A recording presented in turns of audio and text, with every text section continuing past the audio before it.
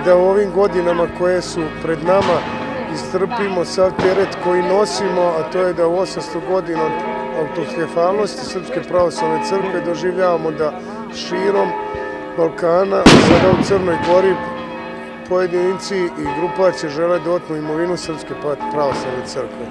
Mi smo ti koji moramo da ostanemo na stubu tradicije i mi smo ti koji moramo da održimo sve ono što su nama stari ostavili za nama. Hvala.